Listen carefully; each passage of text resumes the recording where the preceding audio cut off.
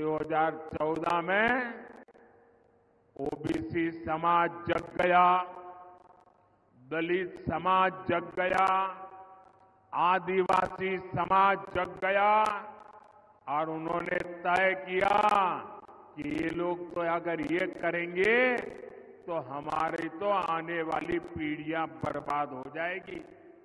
हमारे सपने चूर चूर हो जाएँगे और उसके बाद इस समाजों ने एक होकर के कांग्रेस के सपनों को मिट्टी में मिला दिया, उनको सत्ता से बाहर कर दिया।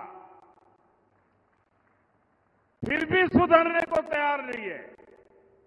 अब ये वो अधूरा काम पूरा करने के लिए फिर से नई चाल चलने लगे हैं। कांग्रेस की चली।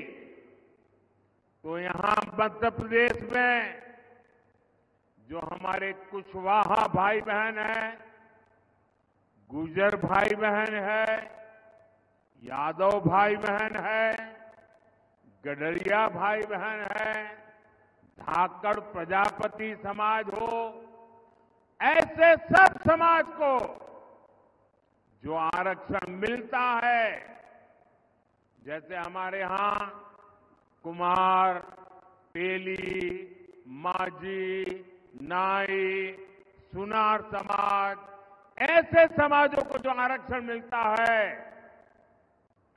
कांग्रेस इन सभी ओबीसी जातियों से उनका हिस्सा छीनकर अपने चहेते वोट बैंक को मज़बूत करने के लिए उनके चरणों में देने का मन बना करके बैठी है।